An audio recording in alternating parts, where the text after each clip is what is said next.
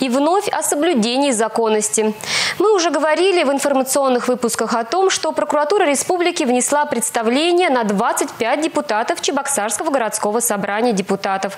Их сведения о доходах и расходах, об имуществе были признаны недостоверными и неполными. По этой причине был лишен мандата депутат Алексей Никитин. Сейчас в преддверии собрания ЧГСД идет обсуждение недостоверных сведений, представленных Виктором Шмаковым. Вот что рассказал по этому поводу заместитель главы города Николай Владимиров.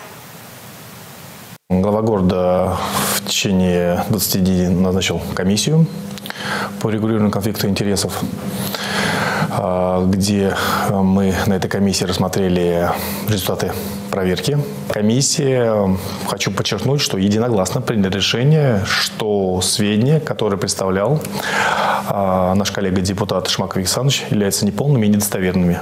И вторым пунктом было рекомендовано главе города выйти в городское собрание депутатов с предложением о досрочном прекращении полномочий депутата Шмактова Виктора Александровича, поскольку нарушает действующее законодательство о противодействии коррупции, нарушен перечень определенных статей, вот, который является основанием для досрочного прекращения полномочий. Решение комиссии, хочу отметить, носит рекомендательный характер. Окончательное решение принимает Чебоксарское городское собрание депутатов.